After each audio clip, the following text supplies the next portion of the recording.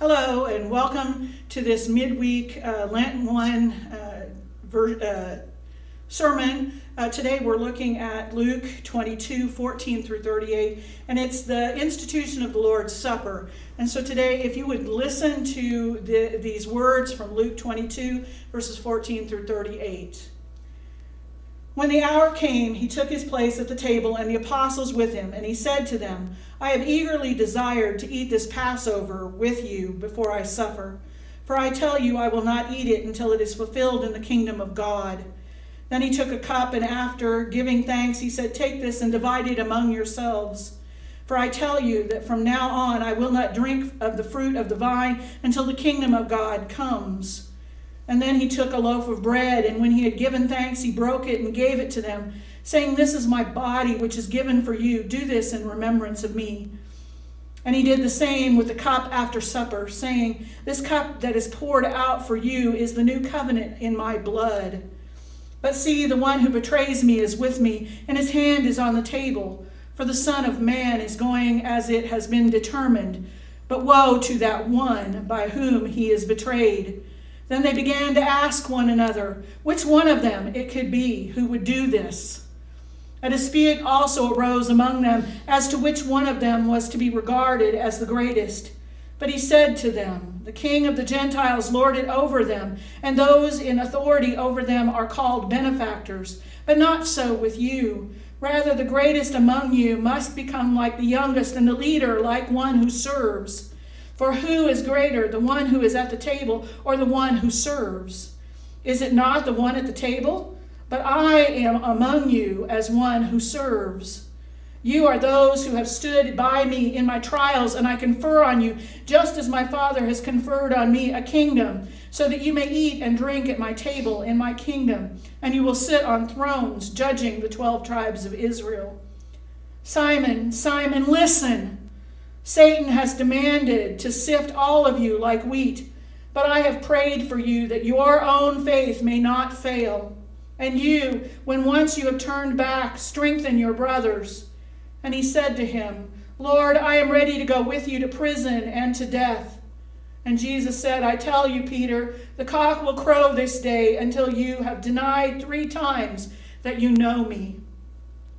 He said to them, When I sent you out without a purse, bag, or sandals, did you lack anything? And they said, No, not a thing. And he said to them, But now the one who has a purse must take it, and likewise a bag, and the one who has no sword must sell his cloak and buy one. For I tell you, this scripture must be fulfilled in me. And he was counted among the lawless, and indeed what is written about me is being fulfilled. And they said, Lord, look, here are two swords. And he replied, It is enough. This is the reading of our gospel, the word of God for the people of God. Thanks be to God. Well, the artist Rembrandt tried to paint the story of Abraham sacrificing Isaac twice. Twice he tried to help others to see what faith looks like in that very moment. And the first time, Rembrandt uh, made a grand painting. This was early in his life when Rembrandt was famous, and he had recently moved to Amsterdam, and his halls were filled with students, and his studio was filled with clients, and his painting was over six feet tall and four feet wide, and his vision was grand. As we look at the painting, you are struck by the faith of Abraham Isaac is stretched out on the ground, and his chest is bared toward heaven, and his back is arched as his father's hand covers his face, pushing his head back to bare his throat. And Rembrandt has painted this hero of faith, larger than life. Abraham's faith and Rembrandt's glory are blended into one. And 20 years later, however, Rembrandt returns to this very story a different man he comes as an artist who has, is broken and as a man who is also broken. His wife has died, and three of his four children are, uh, have, have passed away, and his family life is in ruins. And in less than a year, he would be declaring bankruptcy. Broke and broken, his picture of faith is very much different. This time, the picture was small, an etching about six inches by five inches. And as you look at the etching, Abraham's boldness is follow, in following God is hidden. All you see is his love for his child Isaac. Isaac is kneeling alongside Abraham, and his head is on his father's knee, and Abraham covers Isaac's eyes, hiding him from his death, as if this was his father's last and greatest blessing. Now, Rembrandt no longer paints a hero of faith larger than life, but instead he draws a smaller picture a servant of Yahweh whose service is humble and hidden in love for his son. Now, this shows two ways of seeing faith. First, faith mixed with glory, bold and larger than life, or second, faith that's small and weak and humble and hidden in love for the least. Now, I open with this contrast because, in some ways, it captures what is going on in the text that I read you today. Today, we are in the upper room, and Jesus is celebrating the Passover with his disciples, and then he bids them farewell.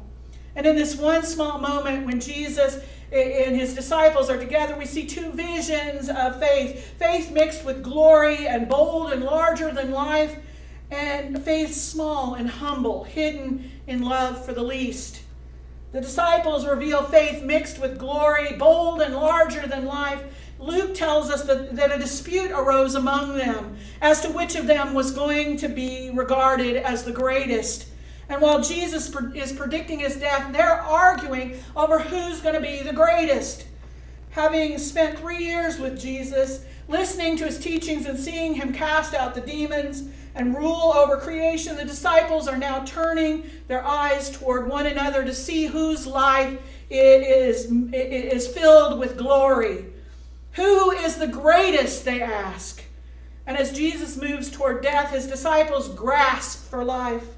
As Jesus speaks of suffering, his disciples are arguing about glory.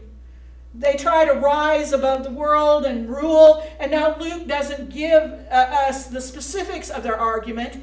But, but we don't need to know what it was that was said during this time. We don't really need the words. We know what it sounds like, don't we? Arguments over who's the greatest. We've had them ourselves. Such arguments tend to be common among God's people then and even now. Whether you look at the church in Corinth at large or at an individual congregation, such as uh, the ones that we're a part of, it's not hard to come across division and strife amongst the people of God. God's people are frequently broken up in arguments about gifts and giftedness and greatness, and it happened in Corinth. Here you had a church that was blessed with a multitude of gifts, faith and healing and miraculous powers that could make you stand up on your feet and sing. And in such a place, was there peace? No. God's people were too busy arguing about these gifts and which one was the greatest, trying to see which one would be the greatest. And God's church became divided as people fought over God's blessings, some followed Paul and some followed Apollos and some uh, uh, followed Peter and the very pastors that God had sent to raise them up and to become tools to help them in their road uh, towards the kingdom of God. Satan had used to divide them. Satan wanted to turn us against one another, and he uses God's gifts to do that. He tries to turn our gifts into things that cause us to fight with one another. Our confessions of faith, our offerings to God, our service to the church, our witness to the world become ways in which we divide ourselves into little groups, into those who are really committed and those who are not. And He gives us visions of faith mixed with glory, bold and larger than life Slowly, our gifts begin to separate us from, uh, as Satan uses those good things that, it, that God has given us to divide us. And the tragedy of all of this is not the wasted time, not the wasted gifts, not the, the hurt feelings, not the words that, that, that are said in anger, but the real tragedy in all of this is that we end up missing the very thing that God wants us to see His presence in this place his work of loving service. We find ourselves busy with all the trappings of, uh, uh, of uh, life of this disagreement, and when right in front of us, God is doing the one thing that will bring us into agreement, the one thing that can make all of us stand on our feet and sing, the one work that is greater than anything that here and in, that anyone here has ever known. The humble work of his saving grace and service. In Jesus, we have the true picture of greatness. Notice how Jesus responds to his uh, disciples' arguments. Once before, Jesus, the, the disciples have had this argument about greatness. And when that happened, Jesus took a child and he placed that child in the midst of the disciples. Children, remember, they had very little social status at that time. No one even noticed them much. And yet Jesus interrupted his disciples' uh, grand and glorious visions by asking them to look at this child. That child was easily overlooked and easily forgotten. And, and, but Jesus, to Jesus, he was a little picture of faith. Like Rembrandt's Abraham holding his son, Jesus held this child and revealed the hidden nature of God's glory. God's glory is a life of embracing and receiving and serving the one who is least in this kingdom. Now, however, Jesus does more. Rather than just place a child in their midst, Jesus claims his disciples as children. When his disciples are arguing over greatness, Jesus reveals faith through humble service to them. He asked his disciples a question Who is the greater, one who reclines at the table or the one who serves? And the disciples would have agreed that Jesus was the greatest among them, that he was the one that should recline at the table. But Jesus calls attention to his action. He is the one who is serving. Not only has he served them at table, but he is going to serve them as he suffers betrayal and dies on a cross. The Creator has come to die for his creatures. Here, hidden in this servant, service, is the greatest gift of God. Jesus radically identifies with that which is least in the world, becoming the crucified one rejected by the world, by religious leaders, by his disciples, even by his own heavenly Father. And yet, in that rejection, he fiercely and faithfully holds on to every last sinner and every last fallen child of God. In his dying, Jesus silences death. And he silences all of the arguments by revealing the radical mercy of God. And as we struggle for glory and seek to make a name for ourselves, Jesus freely gives us the only name that truly matters, a name that he will give up in death. You are a child of God, forgiven of sin and hidden in the embrace of God. God the Father extends his hand over us and gives us his greatest blessing, and he hides us from eternal death by the death of Jesus, his Son. God now calls us son and daughters. As children of God, we don't know the future. We don't know the struggles that it might bring. But Jesus wants us to know that the comfort of his service for us in this time. Although one will betray him and another will deny him, and Satan will divide them, and the world will fight against him, although we too have sinned and fallen short of the glory of God, although all of this is true, there is one who comes among us and brings us the true glory of God. Jesus reveals God's glory in his suffering service to his disciples and to us. He comes to fulfill all that God has planned, and he goes to the cross and offers his life that he might come today and offer forgiveness for our sins. We are children of God, and in Jesus, God has brought his earth brought us into the kingdom that death, the devil, and all of our petty arguing can never destroy. The world of arguments about greatness has become a place of great service in Jesus Christ. Would you pray with me?